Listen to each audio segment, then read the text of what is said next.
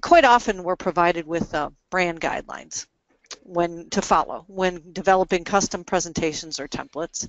And these colors are carefully selected by um, brand folks to complement their new brand guidelines and personality. And usually they're chosen for marketing reasons, marketing materials, print pieces, websites, but rarely are they tested for presentations and rarely are they projected before they're approved. So when you're given something like this and you're formatting the RGB values in, in your presentation, you often run into highly saturated colors, like these hot pinks and hot blues on the screen right now. So you've got some really bright cyans.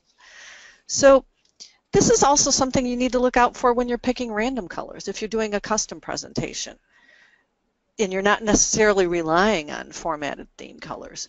Be aware that these super hot colors are going to intensify when they're projected. Like we said, in the dark room or on LEDs, and these can vibrate and they can shout. And when compared to other subdued colors, it'll make some objects look like they're highlighted or they're a focal point where indeed you didn't intend for them to be a focus. So how do you know when your colors are too saturated?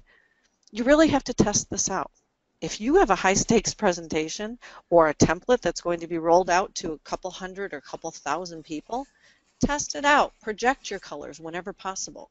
Optimally, you want to use the same projector or projectors and lighting conditions as the final presentation. Otherwise, simulate that as, as closely as you can. Knowing that colors will always change with different equipment and lighting, you can be prepared for it. But in the colors themselves in the program, I'm going to show you what to look out for.